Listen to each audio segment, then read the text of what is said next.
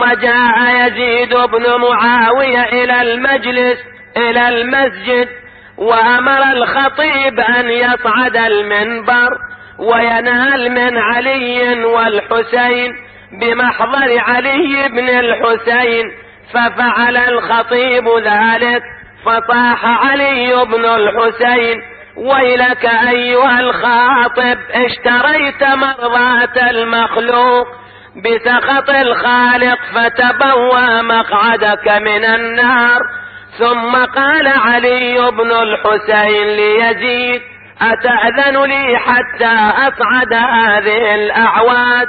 فأتكلم بكلام لله فيه رضا ولهؤلاء الجلساء فيه أجر وثواب فأبى يزيد فألح عليه الناس فأذن له.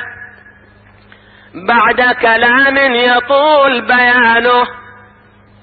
من جملته قال إنه إن صعد المنبر لا ينزل إلا بفضيحتي وفضيحة آل أبي سفيان. فقيل له وما قدر ما يحسن هذا؟ فقال إنه من آل بيت قد زقوا العلم زقا. قال فلم يزالوا به حتى أذن له فصعد فخطب خطبة أبكى منها العيون وأوجل منها القلوب. فقال سلام الله عليك الحمد لله الذي لا بداية له والدائم الذي لا نفاد له والأول الذي لا أول لأوليته. والآخر الذي لا آخرية له والباقي بعد فناء الخلق. قدر الليالي والأيام وقسم فيما بينهم الأقسام. فتبارك الله الملك العلام. أيها الناس أحذركم من الدنيا وما فيها فإنها دار زوال وانتقال. تنتقل بأهلها من حال إلى حال. قد أفنت القرون الماضية والأمم الخالية الذين كانوا أطول منكم أعمارا وأكثر منكم آثارا. أفنتهم أيدي الزمان واحتوت عليهم الأفاعي والديدان. أفنتهم الدنيا فكأنهم ما كانوا لها أهلا ولا سكانا أكل التراب لحومهم وبدد أوصالهم أفتطمعون بالبقاء بعدهم؟ هيهات لا بد لكم من اللحوق بهم فتداركوا ما بقي من أعماركم. بصالح الأعمال فكأني بكم وقد نقلتم من قصوركم. إلى قبوركم فرقين غير مسرورين فكم من فرح قد استكملت عليه الحسرات حيث لا يقال نادم ولا يغاث ظالم. ووجدوا ما عملوا حاضرا ولا يظلم ربك أحدا فهم في منازل البلوى همود وفي عساكر الموتى خمود ينتظرون صيحة القيامة وحلول يوم الطامة ليجزى الذين أساءوا السوء وليجزى الذين أحسنوا بالحسنى. أيها الناس أعطينا ستا وفضلنا بسبع. أعطينا العلم والحلم والسماحة والفصاحة. والشجاعة والمحبة في قلوب المؤمنين وفضلنا بأن منا النبي المختار ومنا الصديق ومنا الطيار ومنا أسد الله وأسد رسوله ومنا سيدة النساء ومنا سبط هذه الأمة ومنا مهديها أيها الناس من عرفني فقد عرفني ومن لم يعرفني. أنباته بحسبي ونسبي. أنا ابن مكة ومنا أنا ابن زمزم والصفا. أنا ابن من حمل الركن بأطراف الرداء أنا ابن خير من اعتذر وارتدى. أنا ابن من حمل على البراق في الهوى. أنا ابن من أسري به من المسجد الحرام إلى المسجد الأقصى. أنا ابن من بلغ به جبرائيل إلى سدرة المنتهى. أنا ابن من دنا فتدلى فكان قاب قوسين أو أدنى.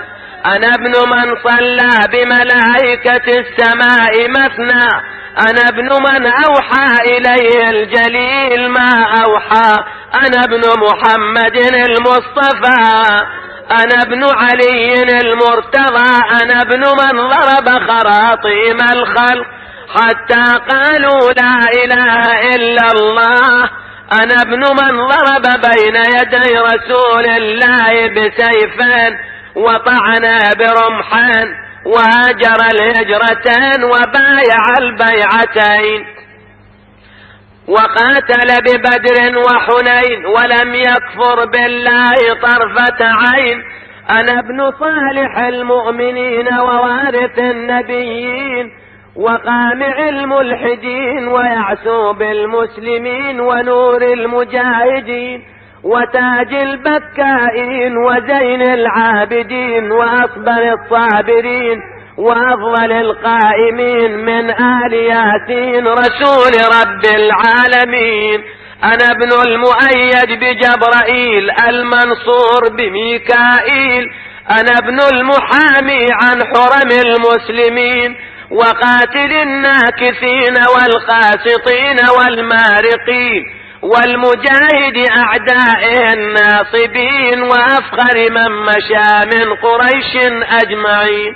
وأول من أجاب واستجاب لله ولرسوله من المؤمنين وأول السابقين وقاصم المعتدين ومبيد المشركين وسام من مرام الله على المنافقين ولسان حكمة العابدين وناصر دين الله وولي أمر الله وبستان حكمة الله وعيبة علمه سمح سخي بهي بهلول ذكي أبطحي رضي مقدام همام صابر صوام مهذب قوام قاطع الأصلاب ومفرق الأحزاب أربطهم عنانا وأثبتهم جنانا وأمضاهم عزيمة وأشدهم شكيمة. أسد باسل يطحنهم في الحروب. إذا ازدلفت الأسن واقتربت الأعن طحن الرحى. ويذروهم فيها ذرو الريح الهشيم ليث الحجاز وكبش العراق مكي مدني خيفي عقبي.